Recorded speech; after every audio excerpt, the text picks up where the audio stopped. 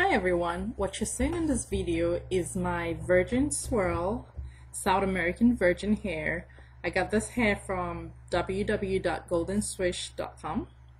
I have had this hair for about three years now and um, the last installation I did was a few months ago and when I took it out I hadn't gotten a chance to wash it or deep condition it yet until today when I decided to do it and um, as you can see it's still looking gorgeous. The curls are still popping. When I got this hair the first time three years ago I was like wow and I'm still wowing right now. Uh, because after washing it and deep conditioning it today I was just super thrilled with the outcome of this hair. That even after three years it still can look like this. Still soft fluffy um, the colors are still vibrant um, the texture is still lovely and I just totally, totally love it. I'm just super excited and I just wanted to share this video with you guys. Um, I got an 8 to 10 inch, 200 grams, which is equivalent of 4 ounces.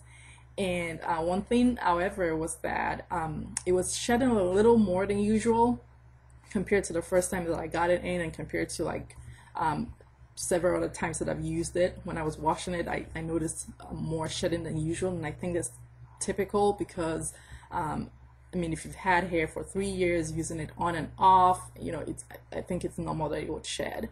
Um, as you can see, I have kind of cut my weft all over the place here. When I first got it in, I, I never did cut my weft, but um, after a while, I just started cutting it just to kind of align with the style that I was shooting for. Um, but I just totally love this hair. It is just beautiful. The curls are still awesome. The texture is still lovely. And I just simply adore it and I just wanted to share with you guys. Um, you can see texture is kind of kinky a little as well, which works great for me because it kind of fits my own natural hair perfectly. Um, so that's it. It's just lovely. It's beautiful. The curls are wonderful and um, I'm definitely going to do another installation of this hair